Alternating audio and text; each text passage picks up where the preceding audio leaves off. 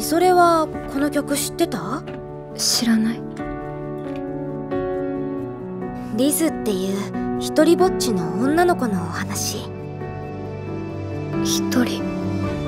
ある日知らない少女がやってくるの。二人はすごく仲良くなってそのまま一緒に暮らし始めるんだけど。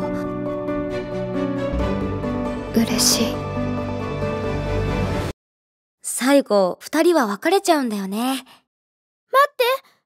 ばにいて。ずっと。ずっと。そばにいて。先輩。のぞみ先輩と相性悪くないですか？そんなことない。私がリズなら青い鳥をずっと閉じ込めておく。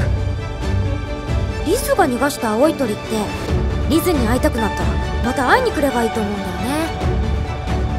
物語はハッピーエンドがいいや。